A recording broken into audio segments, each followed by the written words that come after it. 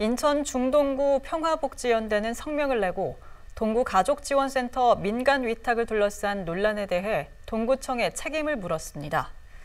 중동구 평화복지연대는 이번 사태의 본질은 센터를 위탁 또는 직영하는가의 문제가 아니라 동구청이 센터장 상근 원칙을 지키지 않은 부분에 대해 제대로 지도 감독을 하지 못한 안일함에 있다고 주장했습니다.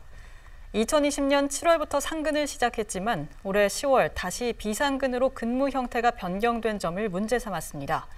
특히 정부 지침과 동구 조례 모두 센터장의 복무 형태를 상근을 원칙으로 함을 명시하고 있다며 동구청이 적절히 지도 관리하지 못하고 원칙 없이 사태를 방관했다고 지적했습니다.